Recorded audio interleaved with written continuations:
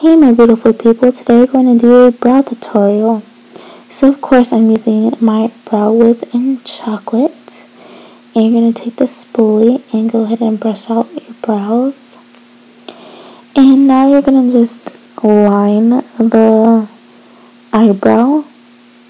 And you're going to go ahead and take it to the end of your eyebrow.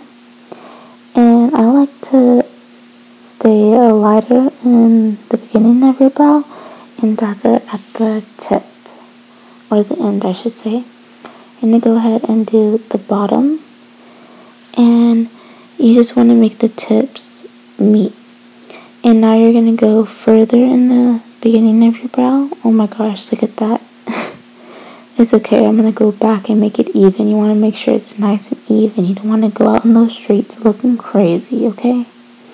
So you're going to go ahead and fill in the brow. And like I said, I like to go darker at the end of my brows. And go ahead and just fill them in. Make sure there's no blank space. So make sure you just comb out with the spoolie next. And I like to keep it empty in the beginning, but you're going to see what I'm going to do next. So you're to go ahead and fill them in upwards to make it natural like little hairs. And you're going to just go ahead and do that. I really have hairs, you just can't see them. Like my hair is really light right there. I don't know why, but they are. So you're going to go ahead and comb that out. And by combing it out, it just makes it blend better.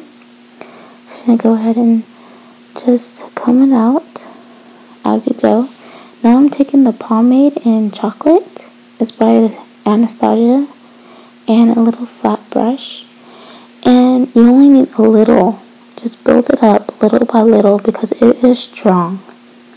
And you're going to go ahead and start at the end of your brows.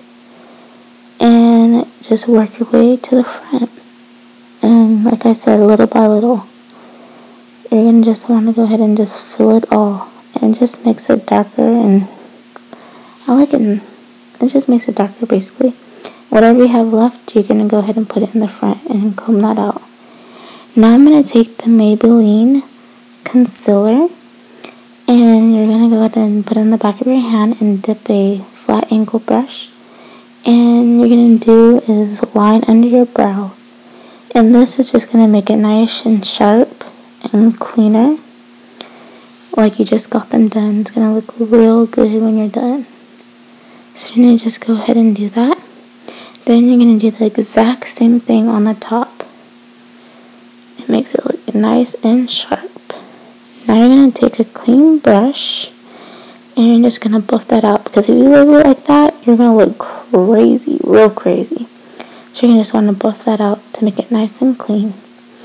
See this brow compared to that brow? Yeah, looking crazy, but I love it. So I'm going to continue to do the other brow so you guys can see and I did the exact same thing. I hope you guys enjoy this tutorial.